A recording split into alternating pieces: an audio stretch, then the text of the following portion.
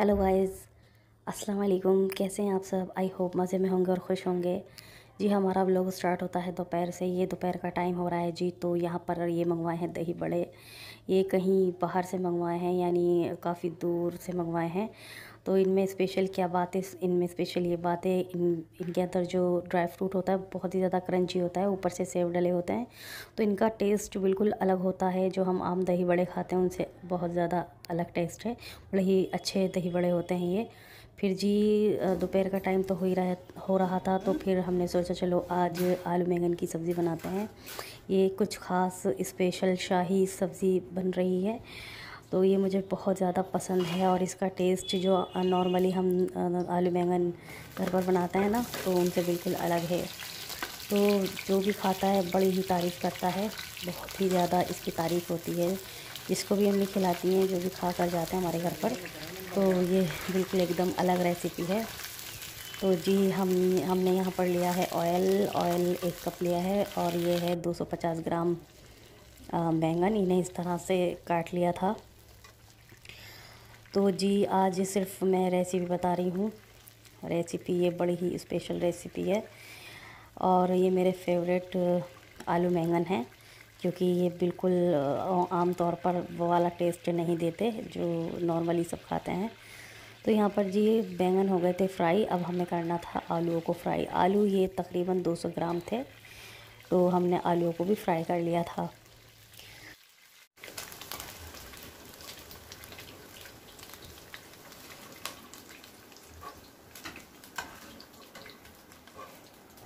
क्योंकि कल मैं पूरे दिन बिज़ी रही कल हमारे यहाँ मेहमान आए हुए थे तो बहुत ज़्यादा बिज़ी थी टाइम ही नहीं मिला तो ऐसा कुछ ख़ास मैं शूट भी नहीं कर पाई।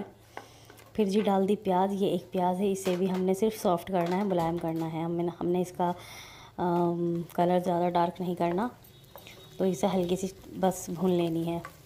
तो मैं बता रही थी मैं कल पूरे दिन बिज़ी रही तो मैंने कुछ शूट ही नहीं किया। तो इस वजह से मैं कुछ ख़ास नहीं दिखाऊँगी। आज मैं सिर्फ़ रेसिपी ही दूँगी, वो भी ये सिंपल सी। तो यहाँ पर एक चम्मच, छोटा चम्मच ज़ीरा लिया है, एक छोटा चम्मच है जी मेथी दाना और एक बड़ी इलायची है और एक छोटा सा टुकड़ा है दालचीनी का।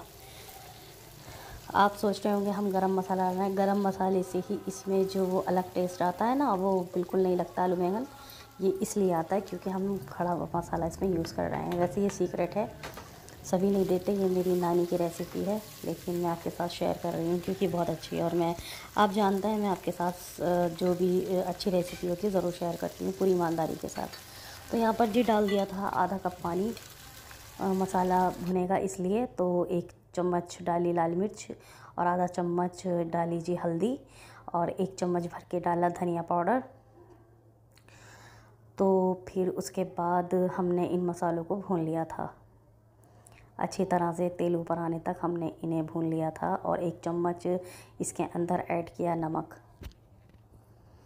तो प्लीज़ प्लीज़ आपसे रिक्वेस्ट है वीडियो को ज़रा पूरा देखा करें फुल वॉच किया करें सपोर्ट करें, क्योंकि बड़ी मेहनत लगती है। एक व्लॉग या कोई वीडियो यूँ ही नहीं बनती, उसमें बहुत ज़्यादा मेहनत होती है। तो सब्सक्राइब ही कर दिया करें। सब्सक्राइब में करने में कोई पैसा खर्च नहीं होता। बस थोड़ा सा दूसरों का जो है भला हो जाता है। यहाँ पर हम, जो हमने सब्ज़ी फ्राई की थी, आलू और बैंगन, दोनों ऐड कर देंगे और इन्हें हम थोड़ा सा सब्ज़ी मसालों के साथ मिक्स करेंगे और ये डाल रहे हैं हम एक कप पानी। ठीक है जी, हमने एक कप पानी डाल दिया है। अगर आप सपोर्ट करेंगे तो किसी की कामयाबी में तो ये एक अच्छी बात होगी। एक दूसरे को सपोर्ट करके इंसान आगे बढ़ते हैं। तो प्लीज़ वीडियो को पूरा फुल वॉच करें, सब्सक्राइब करें जो नए हैं मेरे चैनल पर और शेयर करें। अगर आपको मेरी वीडियो अच्छी लगे तो एक कप पानी डालकर हम इसे मीडियम फ्लेम पर पका लेंगे। ये जी हमने मीडियम फ्लेम पर 10 मिनट, इसे पूरे 10 मिनट पकाया है। बिल्कुल आलू जो हैं अच्छी तरह गल चुके हैं। ये देखिए कितनी आसानी के साथ ये कट रहे हैं। तो इसका मतलब है कि हमारे आलू बैंगन की सब्ज़ी बनकर बिल्कुल रेडी हो चुकी है और बड़ी ही अच्छी खुशबू आ रही है। बल्कि मैं अम्मी से कह रही थी अम्मी इतनी अच्छी खुशबू आ रही है। बिल्कुल कौरमे की सी खुशबू लग रही है। लग ही नहीं रहा था कि हमने सब्ज़ी बनाई है। तो जी, मैंने आपके साथ शेयर की है। तो मिलते हैं अगली वीडियो में। बाय, अल्लाह हाफिज़। अपना ख्याल रखिए।